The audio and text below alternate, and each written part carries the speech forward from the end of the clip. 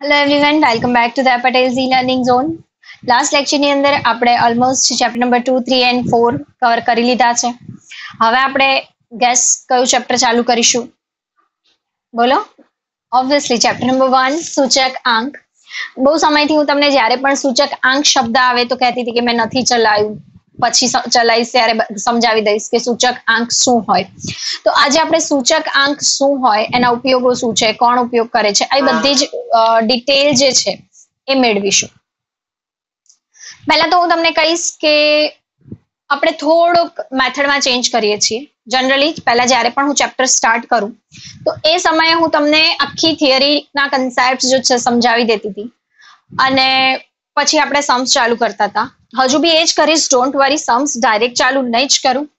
પણ પછી જ્યારે એમ કે છેલ્લી એક્સરસાઇઝ પાછળથી જે છે, એમાં section B section C section D ની થિયરી જ્યારે આવે, ત્યારે મારે બહુ બધા રેફરન્સ આપવા પડે કે મેં પહેલા લેક્ચરમાં આ સમજાવ્યું હતું, બીજા લેક્ચરમાં આ સમજાવ્યું હતું. તમે એ વીડિયો જોઈ લો પેલો વીડિયો જોઈ લો.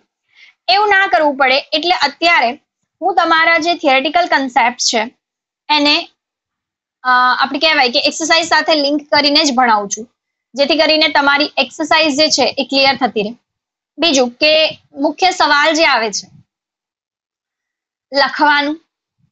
એટલે અત્યારે કમ્પલસરી તમને હવે હું સેક્શન વાઇઝ જ ચલાવું છું. આગળની થિયરી કોઈ જાતની લખાવેલી છે જ નહીં. એટલે આજ તમારે ડાયરેક્ટ થિયરીમાં લખવાની થાય. એટલે એ સવાલ પણ તમારો શું થઈ જાય? સોલ્વ કે લખવાનું. હા ભાઈ, લખવાનું. કેમ કે મેં ભણાયું છે એટલે તમારે લખવાનું. પેલામાં શું થાય કે લખો તો બી બે વાર થાય. એક તો આગળ જયારે મેં થિયરી લખાવી હોય, ત્યારે તમે લખી દીધું હોય, પાછું પાછળથી એક્સરસાઇઝ ચલાવું તો બીજી વાર લખવાનું થાય. એટલે એવું ના થાય એટલા માટે હું આજે તમને સેક્શન બી થી સ્ટાર્ટ કરીને જે પહેલા નાની થિયરી છે એ ભણાવું. એના પછી મોટી મોટી થિયરી ભણાવીશ અને પછી આપણે સમ્સ ચાલુ કરી દઈએ. ક્લિયર બરાબર છે ને? સોલ્યુશન તમારું? ના ઠીક લાગતું હોય તો કેજો કંઈક વિચારશું. બાકી સેક્શન બી ભણીએ. સેક્શન બી ભણતા પહેલા સૂચકાંક હોય શું? સૂચકાંક કઈ નથી. જ્યારે તમારી પાસે કોઈક બે વર્ષના ડેટા હોય અને બે વર્ષને સરખાવો છો, બે વર્ષનો સાપેક્ષ ફેરફાર કરો છો, તો તેને સૂચક આંક કહેવાય. તમારી પાસે કોઈ બે વર્ષના ડેટા હોય ના હોય, તમારી પાસે બેક ટુ બેક બે વર્ષની માર્કશીટ હશે. બરાબર છે? તો એ જે માર્કશીટ છે એને તમે સરખાવો છો, તો એને શું કહેવાય? બોલો, એને શું કહેવાય? સૂચકાંક. હા, કહી શકાય ડેફિનેટલી સૂચકાંક એટલે કોઈ પણ બે અલગ અલગ સમયના ડેટાને સરખાવવા માટે તમે જે પણ કંઈ ગુણોત્તર લો છો, ગુણોત્તર શબ્દ આવવો જરૂરી છે. તો એને આપણે કહીશું સૂચક અંક બરાબર? પણ હવે આમાં કમ્પેરિઝનમાં એ ઘણું બધું આવી જાય છે. પહેલું પોસિબલ છે કે તમે તમારું જે રિઝલ્ટ છે, એને નિરપેક્ષ રીતે કમ્પેર કરો. ને બીજું જે છે, એ છે સાપેક્ષ રીતે કમ્પેર કરો. નિરપેક્ષ, સાપેક્ષ શબ્દ. તો આપણું ગુજરાતી શબ્દ ભંડોળ કાચું હોય. ત્યારે આપણને સમજ નથી આવતું કે મેમ શું કહેવા માંગે છે, નિરપેક્ષ શબ્દનો અર્થ શું થાય, સાપેક્ષ શબ્દનો અર્થ શું થાય. તો નિરપેક્ષ એટલે હું તમને સિમ્પલી સમજાવું. માની લો કે તમારા ધોરણ દસ ના ટકાવારી સાહીઠ ટકા છે અને ધોરણ અગિયારની ટકાવારી છાસઠ છે સિક્સટી સિક્સ તો તમે કેટલા ટકા રિઝલ્ટ સુધાર્યું? તમે એમ કહો છ ટકા અને હું એમ કહું દસ ટકા. તમે કહો છો છ ટકા, હું કહું છું દસ ટકા.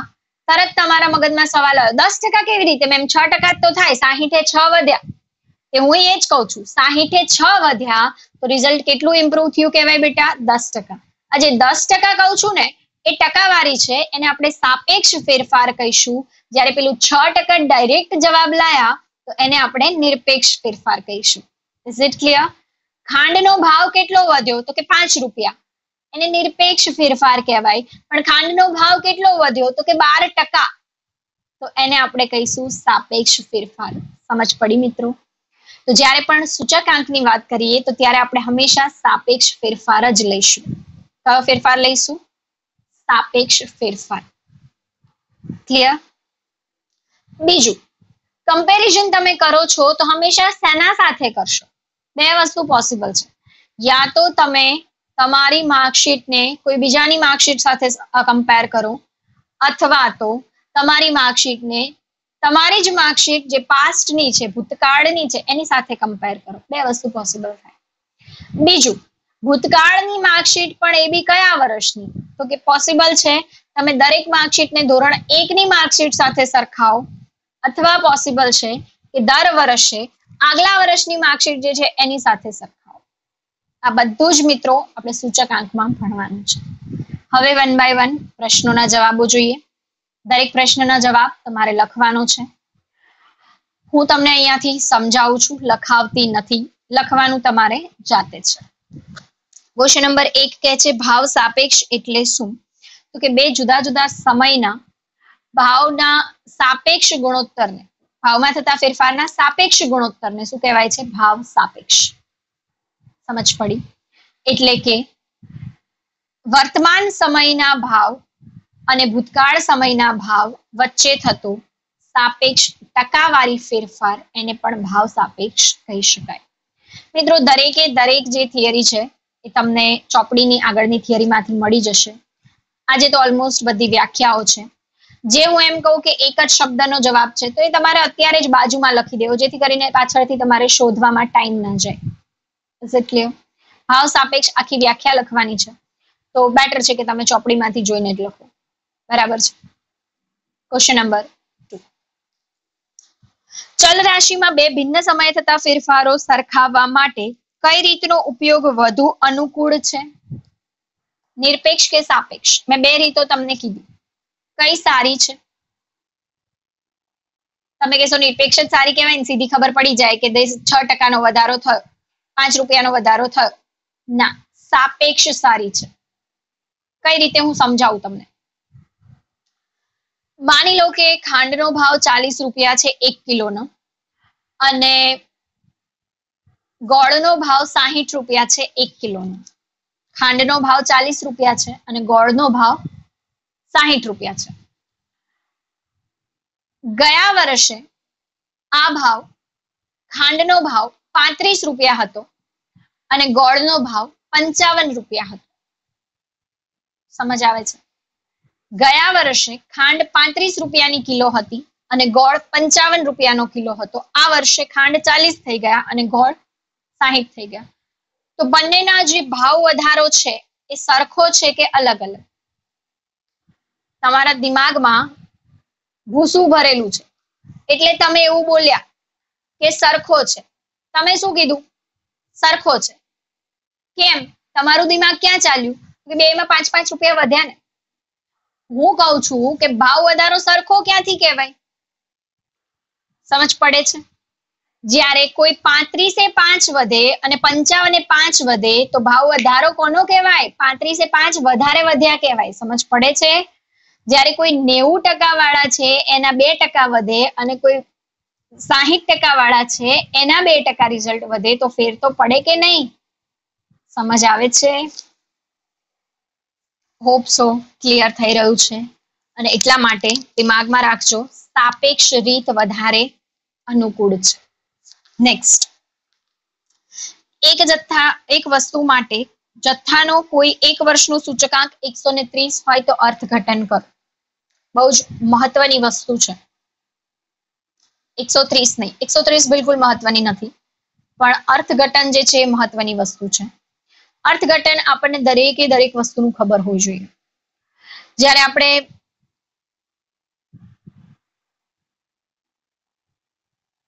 સુરેખ સહસંબંધાંક ભણ્યા, તો પણ આપણે એનું અર્થઘટન કરતા હતા.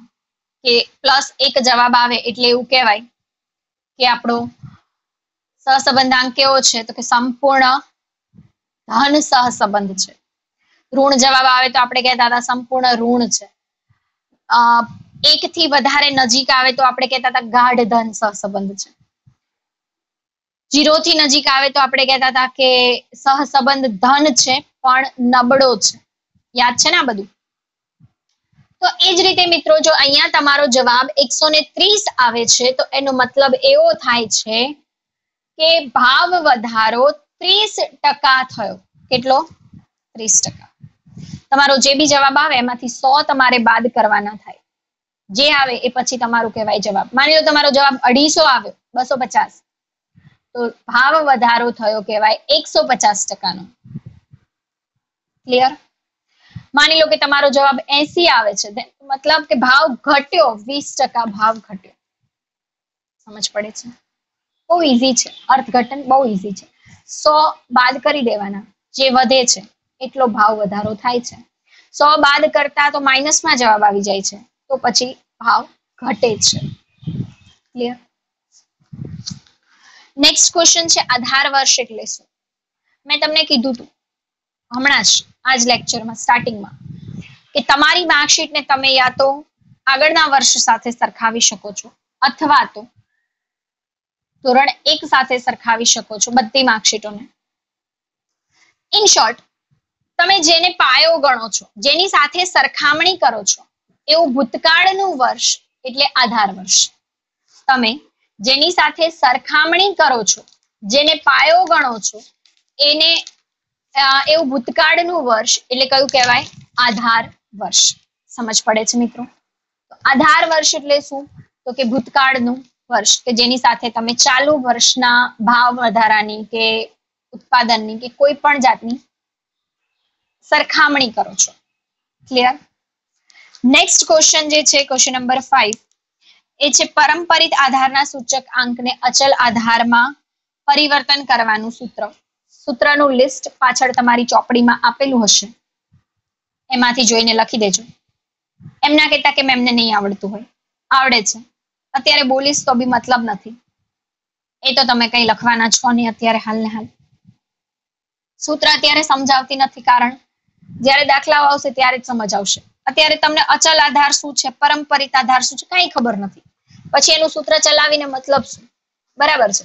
એટલે અચલ અને પરંપરિત આ જ લેક્ચરની અંદર તમને સમજ ચોક્કસ પડી જશે. અત્યારે નહીં પડે. અને એટલા માટે આ સૂત્ર જે છે, તમે પાછળથી જોઈને લખી દેજો. એના દાખલાઓ આવે. ત્યારે ડેફિનેટલી આ સૂત્ર હું તમને કહી જ દઈશ. નેક્સ્ટ ક્વેશ્ચન નંબર સિક્સ સૂચકાંકની વ્યાખ્યા લખો. શરૂઆતમાં સમજાવી ચૂકી છું. કોઈ પણ વસ્તુ સાથે સંકળાયેલ ચલ રાશિની ચાલુ સમયની કિંમતને આપણે ભૂતકાળ કે આધાર કોઈ નિશ્ચિત સમય સાથે સરખાવીએ અને એનો જે ટકાવારી ગુણોત્તર લઈએ, સાપેક્ષ ગુણોત્તર લઈએ, તો એને આપણે કહીશું સૂચક આંક કશું જ નથી સૂચક આંક એટલે ચાલુ વર્ષના ડેટાને કોઈ ભૂતકાળના નિશ્ચિત આધાર વર્ષ સાથે સરખાવાથી જે પણ ગુણોત્તર મળે છે અથવા તો ટકાવારી સાપેક્ષ ફેરફાર મળે છે, તેને આપણે સૂચકાંક કહીએ છીએ. ક્લિયર નેક્સ્ટ જીવન નિર્વાહ ખર્ચના સૂચકાંકની વ્યાખ્યા આપો. હવે જીવન નિર્વાહ એટલે શું? જીવન નિર્વાહનો સૂચકાંક પછી સમજાવું. તમે મને પહેલા એ કહો કે જીવન નિર્વાહ એટલે શું? મિત્રો, જીવન નિર્વાહ એટલે તમારે લાઈફને આમ કહેવાય ને કે બહુ લક્ઝરિયસ લાઈફ નહીં, પણ નોર્મલ લાઈફ જીવવા માટે તમે કેટલો ખર્ચો કરો છો? એને કહેવાય જીવન નિર્વાહ ખર્ચ. નોર્મલ લાઈફ જીવવા માટે તમારે અમુક જ ખર્ચાઓ જરૂરી હોય છે. લાઈક મૂવી જોવા જવું જરૂર નથી મેકડીમાં જમવા જવું જરૂર નથી ડોમિનોઝના પીઝા ઘરે બેસીને ઓર્ડર કરવા જરૂરી નથી. નોર્મલ જીવવાનો ખર્ચ, કપડાં, ખોરાક, બળતણ, ભાડું, આ બધા જે છે એ તમારા જીવન નિર્વાહના નોર્મલ ખર્ચાઓ હોય છે. અને આ જીવન નિર્વાહના ખર્ચની સરખામણી તમે કરો છો. પાછળના કોઈ વર્ષ સાથે, આધાર વર્ષ સાથે. તો એને આપણે જીવન નિર્વાહ ખર્ચનો સૂચક આંક કહીશું. સિમ્પલી મિત્રો, કે આ વર્ષે તમારે જીવવા માટે ગયા વર્ષની સરખામણીમાં કેટલો ખર્ચ વધારાનો થયો? એ જાણવું હોય, તો શું કામમાં આવશે? તો કે જીવન નિર્વાહનો સૂચક અંક. ખ્યાલ આવ્યો? કોઈનું ઘર ભાઈ લાસ્ટ યર પંદરમાં ચાલતું હોય તો આ વર્ષે વીસમાં ચાલતું હોય તો એનો જીવન નિર્વાહનો ખર્ચ શું થયો? વધી ગયો. કેમ વધી ગયો? તો કે ભાવ વધારાના કારણે. સોરી કેમ વધારે થયો? તો કે ભાવ વધારાના કારણે. તો જે પણ ભાવ વધારો થયો છે, એ ભાવ વધારો માપવા માટે જીવન નિર્વાહ ખર્ચનો સૂચક અંક જરૂરી હોય છે. એના પછી જે છે, ભાર એટલે શું? ભાર એટલે શું? તો કે જીવન નિર્વાહ ખર્ચનો જ્યારે પણ સૂચક આંક આપણે મેળવીએ છીએ, ત્યારે ઘણી બધી વસ્તુઓનો સમાવેશ એમાં કરીએ છીએ, જેમ કે ખોરાક, કપડા, ભાડું, બળતણ, એવી ઘણી બધી વસ્તુનો સમાવેશ થાય છે. તો એમાં દરેક વસ્તુનું જે મહત્વ છે એ કેવું હોય છે?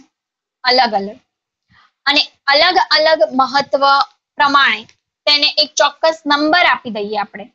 મહત્વ પ્રમાણે. અને એ જે ચોક્કસ નંબર એને આપ્યો છે, એને આપણે એનો ભાર કહીશું. એટલે એને દરેક મહત્વના આધારે જે એક આંક નક્કી કરવામાં આવે છે, જે એક આંક નક્કી કરવામાં આવે છે તેને આપણે ભાર કહીએ છીએ. ઇઝ ઇટ ક્લિયર બોજો નહીં લ્યા, લખતા નહીં કે બહુ વજન લાગે તો એને ભાર કહેવાય. આવું ના લખતા પ્લીઝ સમજ પડે છે? દરેક વસ્તુના મહત્વના આધારે એને જે ચોક્કસ આંક આપવામાં આવે એને શું કહેવાય છે? ભાર. ક્લિયર તમે કદાચ પાઘડી વાળા ચેપ્ટરમાં ભારિત સરેરાશ ભણેલા છો. એ ભારિત સરેરાશમાં ભાર આપ્યો છે. એક, બે, ત્રણ ચાર નો લગભગ સમજ આવ્યું હશે. તો એ ભાર આપો છો, એ જ ભારની વાત અહીંયા પણ છે. ક્લિયર ચલો. એના પછી છે, ગર્ભિત ભાર કોને કહેવાય? હવે અમુક વાર એવું બને છે કે તમે ભાર આપો છો એ સમયે એક ચોક્કસ આંક નહીં આપી શકો. અમુક વસ્તુ એવી છે કે જેને ચોક્કસ આંકમાં એનો ભાર ઉલ્લેખ નથી કરી શકાતો, તો તેને આપણે ગર્ભિત ભાર કહીશું. ક્લિયર એના પછી છે સૂચક આંકના અગત્યના મૂળભૂત પરીક્ષણોના નામ. બહુ બહુ બહુ ઇમ્પોર્ટન્ટ છે આ પ્રશ્ન. સૂચક આંકના પ્રશ્ન નંબર દસ, સૂચક આંકના અગત્યના મૂળભૂત પરીક્ષણોના નામ. સમય વિપર્યાસ અને પદ વિપર્યાસ. સમય વિપર્યાસ એટલે શું? તો કે તમે તમારી માર્કશીટને પાછળના કોઈ પણ વર્ષ સાથે સરખાવો છો, તો એને સમય વિપર્યાસ કહેવાય. જ્યારે તમે તમારી માર્કશીટને બાજુવાળાની માર્કશીટ સાથે સરખાવો છો, તો એ પદ વિપર્યાસ કહેવાય. એટલે મૂળભૂત પરીક્ષણોના નામ બહુ બધી વાર એક્ઝામમાં પૂછાઈ ચૂક્યા છે. બોર્ડમાં નહીં, તો આપણી વીકલી ટેસ્ટમાં તો ક્યાંક ને ક્યાંક હશે. એટલે આને ઇમ્પોર્ટન્ટ માર્ક કરી જ દેજો. અત્યારે બે નામ લખવા હોય જોડે તો લખી દેજો. સમય વિપર્યાસ પરીક્ષણ અને પદ વિપર્યાસ પરીક્ષણ. નેક્સ્ટ ક્વેશ્ચન પરંપરિત આધારની રીતે સૂચક આંક એટલે શું? પરંપરિત આધારની રીતે સૂચક આંક એટલે શું? તો મેં તમને કીધું હતું કે આજ લેક્ચરની અંદર કહીશ. તમે જ્યારે તમારી માર્કશીટને ધોરણ એક ની એક જ માર્કશીટ સાથે દરેક માર્કશીટને સરખાવો છો, તો એ છે અચલ આધાર. એક જ વર્ષની માર્કશીટ સાથે દરેક વર્ષને સરખાવો છો, તો એ છે અચલ આધાર. પરંતુ પરંપરિત એટલે માની લો કે ધોરણ અગિયારની માર્કશીટ ને દસ સાથે દસની માર્કશીટ ને નવ સાથે નવની માર્કશીટને આઠ સાથે આઠની માર્કશીટને સાત સાથે સરખાવો છો, તો એને કહીશું આપણે પરંપરિત આધારની રીત. ક્લિયર એટલે પરંપરિત એટલે જ્યારે આધાર તમારો બદલાતો રહે છે, જ્યારે અચલ આધાર એટલે તમારો આધાર કેવો રહેશે? ફિક્સ નેક્સ્ટ ક્વેશ્ચન છે મિત્રો. ક્વેશ્ચન નંબર બાર. તેલના ભાવનો સૂચક આંક રૂપિયા પાંચસો છે. આ વિધાન સાચું છે કે ખોટું? સદંતર ખોટું છે મિત્રો. કેમ કે સૂચક આંક ક્યારે પણ એકમ સહિત હોતો નથી. સૂચક આંક હંમેશા એકમ રહિત માપ છે ને માટે રૂપિયા પાંચસો લખવું ખોટું છે. જો એવું લખ્યું હોત ને કે તેલનો સૂચક આંક પાંચસો છે, તો ડેફિનેટલી સાચું હોત. સમજ પડે છે. હવે તમે આમાં ગચડાઈ જાઓ. તમે શું કહો? હવે મને શું ખબર તેલના ભાવનો સૂચકાંક કેટલો છે? મને કેવી રીતે ખબર પડે કે આ સાચું છે કે ખોટું? પાંચસો જોડે તમારે કઈ લેવા દેવા છે જ નહીં. તમારું લેવા દેવા છે રૂપીઝના સિમ્બોલ સાથે. સમજ પડી? ખ્યાલ આવે એટલે ક્યારે પણ સૂચકાંકમાં કોઈ પણ જાતનો એકમ, રૂપીઝ, કિલોગ્રામ, ટન, લીટર, આવું બધું નહીં લાગે. ક્લિયર? ચલો, એના પછી. ફુગાવાનો દર શોધવાનું સૂત્ર. અગેન પાછળ આપેલું હશે બુકની અંદર. ત્યાંથી જોઈ લેજો. ફુગાવો એટલે શું? હોપસો તમને ક્લિયર થઈ ગયું હશે. ના થયું હોય તો કમેન્ટ સેક્શનમાં કહેજો. ફુગાવા માટે એક સ્પેશિયલ વીડિયો અપલોડ કરી દઈશ. તમારી જે કહેવાય કે ડિમાન્ડ આધારિત. જેથી કરીને ફુગાવો એટલે શું? વધારે ક્લિયર થઈ જાય. બાકી ઇકોનોમિક્સ ચેપ્ટર નંબર થ્રી ની અંદર રિવાઇઝ કરી શકો છો. ફુગાવો એટલે શું? એના પછી ભારતમાં મોંઘવારી ભથ્થાનો દર નક્કી કરવા માટે કયા સૂચકાંકનો ઉપયોગ કરવામાં આવે છે? પહેલા તો મોંઘવારી ભથ્થો એટલે શું? દર વર્ષે સરકાર પોતાના સરકારી કર્મચારીઓની પગારમાં વધારો કરે છે. એ પગારમાં વધારો શેના આધારે થાય? તો કે મોંઘવારી ભથ્થાના આધારે. અને મોંઘવારી ભથ્થું એટલે શું? સમજ પડતી હશે કે દર વર્ષે ભાવ વધે, તો ભાવની સાથે આવક વધવી જોઈએ. અને આવકમાં વધારો કરવામાં આવે, એને મોંઘવારી ભથ્થું વધ્યું કહેવાય. ભથ્થું. બરાબર? તો આ શેના આધારે નક્કી થાય? તો કે એ જીવન નિર્વાહ ખર્ચના આધારે. બરાબર? જેમ જીવન નિર્વાહ ખર્ચ સૂચકાંક વધે, એના આધારે સરકાર પોતાના જે કર્મચારીઓ છે, એનો પગારમાં એટલા ટકાનો વધારો કરે. એમનું જે મોંઘવારીનું ભથ્થું જે છે, એમાં એટલા ટકાનો વધારો કરે છે. નેક્સ્ટ જે છે મિત્રો, કે ભારતમાં, નહીં નહીં સોરી એ થઈ ગયું. અચલ આધારની રીત અને પરંપરિત આધાર વચ્ચેનો મુખ્ય તફાવત. હમણાં જ સમજાવી ચૂકી. અચલ આધારમાં આધાર અચલ એક જ સાથે એક જ આધાર હોય છે. એક જ આધાર સાથે સરખાવવામાં આવે છે. જ્યારે પરંપરિતનો આધાર દર વર્ષે શું થાય છે? બદલાતો રહે છે. આ એનો મુખ્ય તફાવત છે. નેક્સ્ટ જે છે, કઈ પદ્ધતિમાં આધાર વર્ષ પ્રત્યેક વર્ષે બદલાતું નથી? હમણાં જ કીધું. અચલ આધારમાં. પરંપરિતમાં દર વર્ષે બદલાય છે. અચલમાં બદલાતું નથી. નેક્સ્ટ છે મિત્રો કે સૂચક આંકની રચનામાં કઈ સરેરાશ પ્રચલિત છે? બહુ મોસ્ટ આઈએમપી છે. કઈ સરેરાશ પ્રચલિત છે? તો સરેરાશ ઘણા બધા પ્રકારની હોય છે. તમે ભણીને આવ્યા છો ઇલેવન્થમાં યાદ હશે તમને ગુણોત્તર મધ્યક હોય છે. પછી કમ્બાઇન્ડ મીન ને શું કહો છો? કમ્બાઇન્ડ મીન પેલો બે જાતના મધ્યકો હોય, બે જાતના એન હોય, એ. હા. મને ગુજરાતી નામ ભૂલાઈ ગયું છે અત્યારે. પછી એક ગાણિતિક મધ્યક હોય છે, પછી ભારિત મધ્યક હોય છે રાઈટ ભારિત સરેરાશ હોય છે. તો અહીંયા કઈ સરેરાશ વધારે પ્રચલિત છે? તો ભારિત સરેરાશ વધારે પ્રચલિત છે. બરાબર? નેક્સ્ટ જે ક્વેશ્ચન છે આપણો કે સૂચક આંકની ગણતરીમાં આધાર વર્ષ કેવું હોવું જોઈએ? બહુ જ આઈએમપી પ્રશ્ન છે ને મહત્વનો પણ ખરો. કે સૂચક આંકમાં આધાર વર્ષ કેવું હોવું જોઈએ? બહુ નોર્મલ હોવું જોઈએ. કઈ જ એબનોર્મલ ના હોવું જોઈએ. કોઈ વસ્તુ આઘા પાછી ના હોવી જોઈએ. જેમ કે એમાં પૂર ના આવેલું હોવું જોઈએ. ભૂકંપ ના આવવો જોઈએ. કોઈ કુદરતી હોનારત ના હોવી જોઈએ. કઈ રાજકીય ઉથલ પાથલ ના હોવી જોઈએ. ખૂબ મંદી કે ખૂબ તેજી હોય એવું વર્ષ ના હોવું જોઈએ. હવે જે વર્ષમાં તમે બીમાર પડ્યા હતા, એ વર્ષની માર્કશીટને તમે દરેક વર્ષ સાથે સરખાવો તો ચાલે. હવે એના કમ્પેરિઝનમાં તો બધું સારું જ આવવાનું છે ને. કેમ કે ત્યારે તો તમારા ટકાવારી માન લો કે માંડ માંડ પાસ થયા હોય. ભાઈ, એના સરખામણીમાં તમે જુઓ કે ભાઈ ગયા વર્ષે તો મારે પાંત્રીસ ટકા જ હતા, આ વર્ષે સિત્તેર ટકા થયા તે મારે બસો ટકાનો વધારો થયો આવું કહેવાય? ના કહેવાય. એટલે કે તમારું આધાર વર્ષ એકદમ નોર્મલ હોવું જોઈએ. કોમી, હુલ્લડો, રમખાણો, યુદ્ધની પરિસ્થિતિ, આવું બધું એમાં ન હોવું જોઈએ. કોરોનાનું લોકડાઉન ન હોવું જોઈએ. બરાબર? કેમ કે તમને સમજ આવે કે ત્રણ વર્ષ સુધી તમામ ધંધા બંધ રહ્યા છે. તો ઉત્પાદન બે હજારનું કેવું આવશે? ઓછું. હવે ભવિષ્યમાં તમે જ્યારે કોઈ વર્ષની સરખામણી કરો છો, એને બે હજાર વીસ સાથે સરખાવો, તો ઓબ્વિયસલી ઉત્પાદન વધારે જ આવવાનું છે. સમજ પડે છે? પણ બે હજાર વીસ એ નોર્મલ વર્ષ નથી. બે હજાર વીસ ને ક્યારે પણ આધાર વર્ષ તરીકે પસંદ થવાનો હક નથી. કેમ? તો કે નોર્મલ વર્ષ નથી. આધાર વર્ષ કેવું હોવું જોઈએ? કોઈ કુદરતી હોનારતો મુક્ત હોવું જોઈએ, રાજકીય ઉથલ પાથલથી મુક્ત હોવું જોઈએ, અથવા તો કોઈ યુદ્ધ કે કોમી, રમખાણો જેવી પરિસ્થિતિ હોવી જોઈએ નહીં. તે સંપૂર્ણ કેવું હોવું જોઈએ ભાઈ?